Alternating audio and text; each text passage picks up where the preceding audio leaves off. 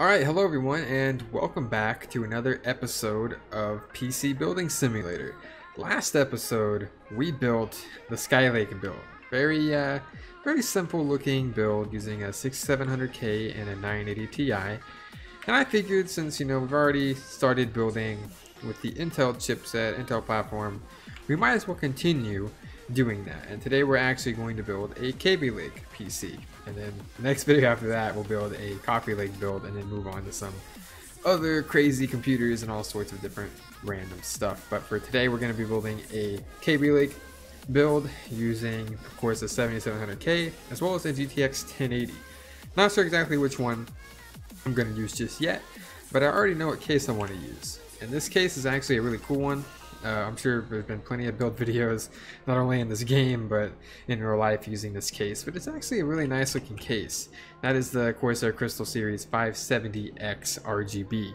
Now this is the kind of case that I personally would be like sort of scared to own because like this thing falls, it's completely game over. As you can see, it's completely made out of uh, tempered glass. Tempered, tempered, I almost fucked up saying tempered, which is stupid, but we have tempered glass everywhere. Side panel, side panel, the front panel, the top panel, of course, is all tempered glass. So like, one wrong move, man, it's game over for this case. But I always thought it'd be cool to do build in this case in real life, just because it'd be a really nice centerpiece to a setup, especially with RGB and stuff, which is what we're going to be going for today. We're going to be throwing in some RGB into this build.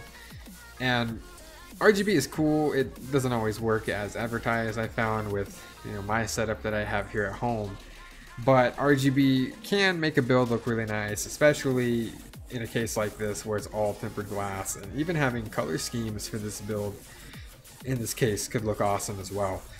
well like I said, we're gonna stick in the uh, Kaby Lake series of Intel processors. I'm kind of having some acid problems right now, so I do apologize if if uh, I have to stop talking here and there. But we're going to be using, of course, a Z270 chipset, which we did use for the last build, uh, mainly because the boards that they had for the H170 uh, or Z170 chipset or whatever the hell it is, I can't remember, uh, wasn't very good. I think it's H1. Let me just let me just fucking look real quick. I don't want to be. It is H170. Okay, I was right.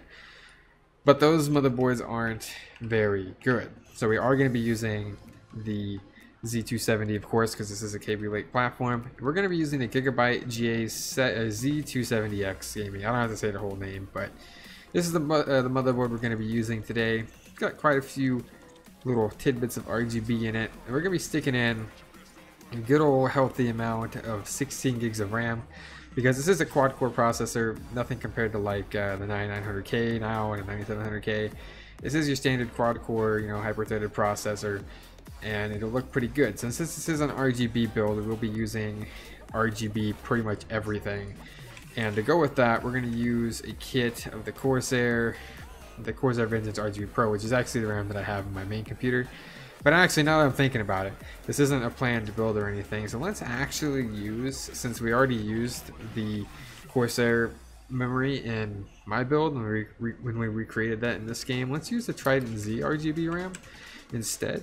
And we'll use an 8 gig kit of the 3000. Now that is perfectly fine for an Intel platform, especially Kaby Lake.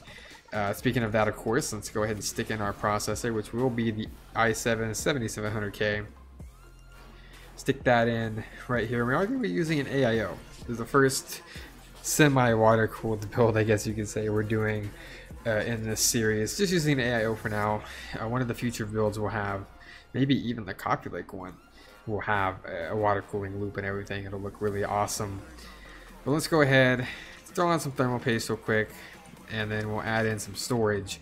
For storage, you have quite a bit of storage options in the back. You can mount, you know, two 3.5 inch uh, you know, standard SATA drives spinning 7200 RPM, whatever the hell, as well as two 2.5 inch SSDs or hard drives if you are so inclined to do so. But we'll actually stick in our power supply. It's usually what I normally do first, but in this case we didn't. And this is a high-end build, so got to think of upgradability in mind. Maybe you want to add a second 1080 down the line or something. We're going to throw in a 1000 watt Corsair power supply since this is a Corsair case. That way, nothing's nothing's too crazy for this build because we got plenty of power to back it up. So now that we have that in, let's actually put some storage in here. This is a pretty high-end build, so we're going to go with a good old 3 terabyte hard drive.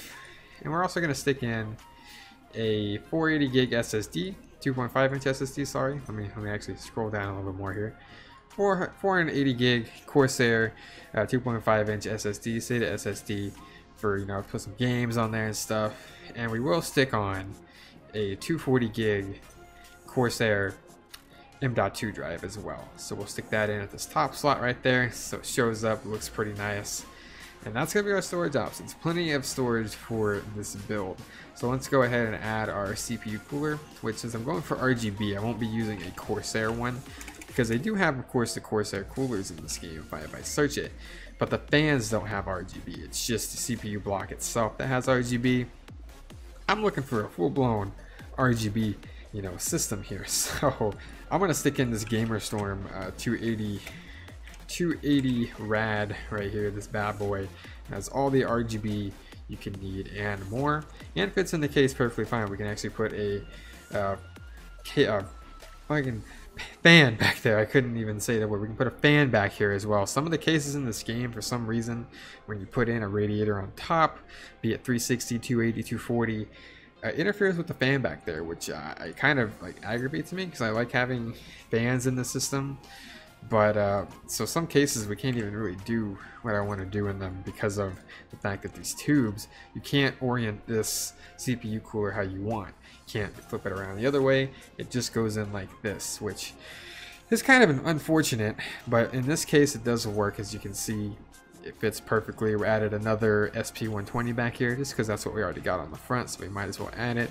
And let's add our graphics card, which will be a GTX 1080 as well. So let's go ahead. I could just type in 1080, but that is completely fine. And I don't really know which one I want to add since we do have a gigabyte motherboard. Let's actually add this Aorus Extreme graphics card in here since we are have do have this oh I actually fucked that up. PCIe slot is on the top here. That is my bad for not looking at the orientation of that uh, PCIe slot right there but yeah we'll add that one. Just because we have a gigabyte motherboard might as well do a little bit of matchy matchy and add in a gigabyte 1080 let me add 1080 in and bam there we are. Add this extreme edition 1080 in like so and looking pretty good so far. Let's go ahead and add our cabling, which we will use, of course, standard. If it wants to load, I don't know what's happening here. We'll use the ribbon, ribbon braided plain black. I can't talk today, man. Maybe I'm talking a little too fast, but let's start cabling this up. And I actually will show you guys my free build settings. I mentioned doing that in like the first episode, and I never got around to doing it. But I'll actually show you that right after we put in that last cable right there. If I go to uh, here and hit free build options, you can see I have everything checked except for this one. I don't like when it automatically does the cables to the parts. I like doing that myself, so that's why I have that off. Just wanted to mention that. But yeah, that is pretty much a completed build. Apparently the retail value of it is $2,800. I don't know where in the hell this motherboard is 430 bucks and this processor is even that expensive anymore. It might be, still that expensive. I don't I don't really know. I don't stay up to date with Intel too much because I do have a Ryzen processor. But let's go ahead and add everything back to the case. Add in the dust filters, add in the top panel, add in of course the front panel, and then of course the final two side panels for the completed Kaby Lake build with a bunch of RGB, very sexy looking computer if I do say so myself. Let's pop in our USB drive and do a first boot on this bad boy and bam! Look at all that RGB. That doesn't exactly look like RGB yet because it has to be configured. But we'll do our XMP overclock. As you can see, we got the 7700K showing up there. 4, 4.5 gigahertz, 4500 megahertz. So that's standard conversion right there. 16 gigs of RAM and 1080 as well as our storage showing up there as well. Sorry if I'm messing up my words a lot. I kind of don't know what the hell's happening to me. Maybe I'm talking a little too fast in this video. I really wanted to get this one get this one up for you guys. I, I get excited making these videos too. That's that's another reason why I'm so winded. I'm just I'm, I enjoy making these videos. I really do. I enjoy talking about computers. Kind of sucks when I talk too fast and mess up my words because then it sounds like I don't know what I'm talking about. But I love computers, and that's why I, I probably sound like I'm out of breath because I just I just love talking about computers and this game just allows me to build whatever the hell I want because I can't afford to do it in real life. But I actually forgot to add a couple of extra programs in here that I've liked to add. We will not be overclocking the GPU this time around, so we will not be installing that program. Kind of just want to run this Gigabyte Extreme graphics card at its you know stock overclock, whatever factory over factory overclock, whatever the hell it wants to do. So let's go ahead and set up our RGB lighting to be, of course, full RGB, and we'll set this to be a nice white, just to look pretty, pretty cool. And bam, there you have it. The Kaby Lake build, complete with RGB out the ass, is done. This is the build, man. And if, if, if I had this build in real life right now, honestly, I, I wouldn't even be complaining, dude. I'd probably be set for couple years, maybe upgrade the processor to like a Coffee Lake or something if I'm on the Intel platform, but Oh yeah, I think you'd have to upgrade your motherboard anyway, so you might as well you might as well switch to Ryzen or something. Keep your keep your graphics card if you want to do streaming or something. Switch over to Ryzen. But uh, for primarily being a gaming PC, Intel is pretty much the way to go. That's all you're going to be doing. But uh, very very solid build. Of course, the back's nothing to nothing to rave about, but uh, front looks pretty good. This side looks great. Looks pretty good. So let's go ahead and run our uh, stress test on this computer. See what our max wattage is since we did put a thousand watt power supply in this PC we will have to see what our max power draw is. Probably not going to be super high or anything. Honestly you could probably get away with like a 750 850 watt power supply in this thing. But like you know if you're going to upgrade since this is a high-end build you got a little bit of leeway to do so. Maybe you pop in like a 8 8 core processor in the build or something you want to throw in an extra 1080 down the line to keep up with the games. And, and there's there's our there's our power draw, 300 and 301, which is kind of weird. I feel like it'd pull more than that, but even my build doesn't pull really anything close to that. But let's go ahead and run the benchmark on this thing. As you can see, I didn't mention it in the beginning because I was just so excited making this damn, making these damn videos. Uh, we still got the other two builds up right here. This is, uh, of course, my build, the Meshify C. Uh, the first video we did. This is the second one, which was the Skylake build. And now this is the Kaby Lake build. We got a full workbench going on here, man. And this one's going to be put over there once we get the next video. But let's go ahead and run a benchmark on this PC and see how it compares to the Skylake build, which got a score of 5702, as well as my build, which got a score of 6649. And in my build, you know, we have the better processor, the Ryzen 7 2700X, but this build has the 1080, which is a little bit better than what's in this one right here. So we're gonna run this benchmark and we're gonna see what score we get and how it compares to the other two PCs on the workbenches. Let's go. Alright guys, so the benchmarks have been completed. I actually ran the benchmark on all three computers so we can kind of compare uh, the Kaby Lake build to the other two more accurately. I'm also a little little more calm now. I was getting a little hyped up over there when we first started recording because I just I really do love making these videos. It's so much fun. Uh, it allows me to share my love of computers without having to go broke trying to buy a bunch of parts or you know no one's gonna sponsor a channel with 270 subscribers I'm, I'm just saying but we got the benchmarks done and it's time to compare the Kaby Lake build where of course we got to show the score it got first which is a 7263 5555 on the CPU and a 7680 on the graphics score so this 1080 kind of was a saving grace this one a little bit but uh, let's compare it to the Skylake build first. So, you know, we got a 5,555 on the CPU here. Uh, the C700K actually landed not even that far off of the Kaby Lake, since, you know, the 6700K is still a quad-core hyper-threaded processor on, you know, slightly older architecture compared to the 7700K, but the score really isn't like that much different. As you can see, it's it's it's like a frame different. So even if you had 6700K, upgrading to the 7700K really eh, isn't isn't like worth it, especially because you got to upgrade your motherboard too. So actually, I don't think you do. You might. Yeah, you do.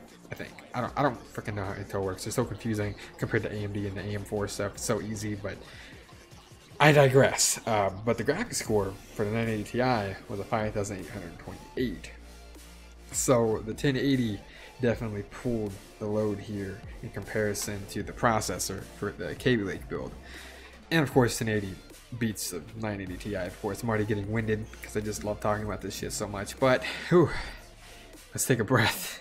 Let's take a damn breath everybody. And I compare this to the um, my build, the 2700X Ryzen, whatever. I'll just call it my build, Colton's build. I don't have a name for my computer like most people do. I just call it my computer that I really enjoy playing games on.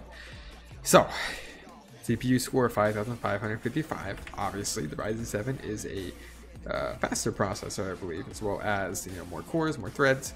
So well, it's not going to be surprising to see that the CPU is a fucking 8,739 compared to 5,555. It's just night and day difference. But the reason that the Kaby Lake build got a higher score is because of the processor. So the 1070 Ti and the uh, this bad boy right here are actually quite different if this game is anything to go by. Um, so the 1070 Ti got a score of 6,380, and this one got a score of 7,680. So T minus is uh, the Asus card, which is clock different to some other 1070 Ti's, and uh, you know this one, which is clock different to some 1080 Ti's and stuff like that. So, you know, uh, the score can change a little bit depending on which 1080 you go for or which 1070 you go for as well. But that is how this build compares to the other two. Um, I, I, actually think this build looks really good. This case is perfect for displaying uh, your love of RGB if you have any. But next time, next time, we'll be moving this bad boy down here and shifting these computers down to build the Coffee Lake build. And we're going to be going about as crazy as it gets for a uh, standardized uh, Coffee Lake build. And we're skipping the 8700K because no, we're going straight. My voice died right there. We're going straight to the i9 9900K custom water cooled with a 2080 Ti. That's what we're going for. And we're going to see how that compares to this Kaby Lake build as well as, you know, the other computers we have up here as well. So that should be very fun. I'm excited to get to that video. And after that, we're gonna start doing some crazy shit. So uh, if you've enjoyed this video so far, please let me know down below in the comments. And I will see you guys in the next video where we build a Coffee Lake monster. So see you guys then. 2018 is a new year. I gotta keep grinding. I got nothing to fear. I gotta always steer clear of all the fakes of all the people trying to drown me in the lake. I'm gonna keep riding. I'm gonna keep spitting. I'm the king around here. I don't know who you're dissing. If you don't check me out, you're really missing out. On the number one rapper while you over there smoking cloud. Oh my god, baby, I'm so